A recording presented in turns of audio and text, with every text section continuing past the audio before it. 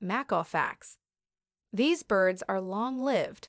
Their lifespan can reach up to 60 years or more, even in the wild. They are playful birds and will use their feet, beaks, and tongues to explore new objects. The hyacinth macaw is the largest of all parrot species.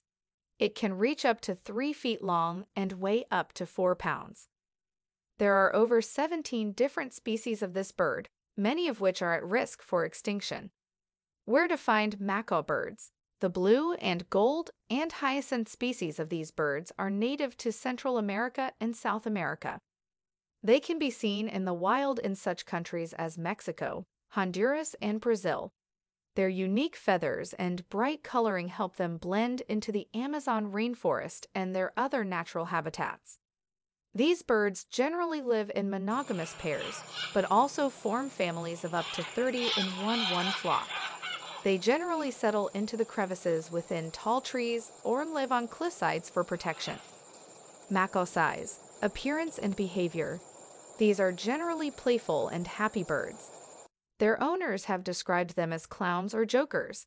They are highly social creatures, both in the wild and in captivity.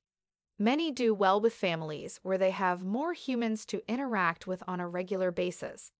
If they are hand fed from an early age, then they will become attached to their owners.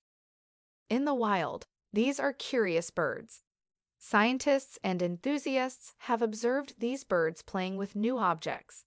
They will often toss new things into the air and catch them with their beaks or their feet. They also will lick and taste the object to try and get more information about it. While these birds bond in pairs, they also typically seek to form larger flocks of 30 to 40 or more birds.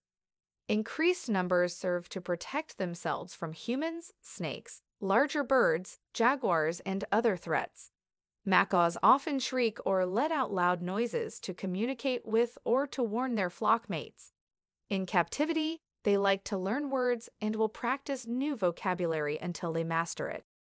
As you can imagine, the average size, weight, and wingspan varies widely from species to species. The largest examples are part of the Ara genus. This group includes the hyacinth macaw, which has a wingspan between 3 and 4 feet and weighs up to 4 pounds. It is also more than 39 inches long. The smallest species is the red-shouldered macaw, scientific name Diopsittaca nobilis, which is also known as the minimacaw.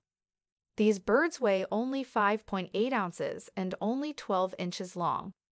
The Hahn's macaws and noble macaws that make up this species are almost identical in appearance. However, the Hahn's has a black upper mandible, macaw fact,